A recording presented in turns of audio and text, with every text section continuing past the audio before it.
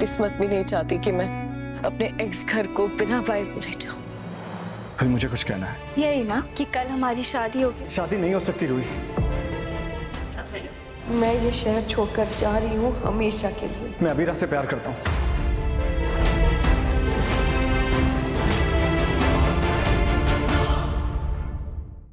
Armaan look at me इतना सब कुछ होने के बाद मेरा इतना तो हक बनता है कि तुम मुझे एक बार प्यार से आई लव यू बोल दो। बस एक बार। जब हमारी शादी टूट चुकी है, हमारे बीच में कोई रिश्ता नहीं है तो तुम रिजॉर्ट की अपडेट्स क्यों रख रहे हो, अरमान? क्यों? कल तुम्हारी दूसरी शादी है। तो आज इस वक्त तुम यहाँ क्या कर रहे हो? क्यों? क्यों कर रहे हो तुम मेरी मदद? क्यों कर रहे हो मेरी मदद? कि मैं तुम्हें परेशान नहीं देख सकता मैं तुम्हें इस तरह से रोज रोज टॉर्चर होते हुए नहीं देख सकता हूँ। और इस शादी को प्लान करना तुम्हारे लिए टॉर्चर ही है।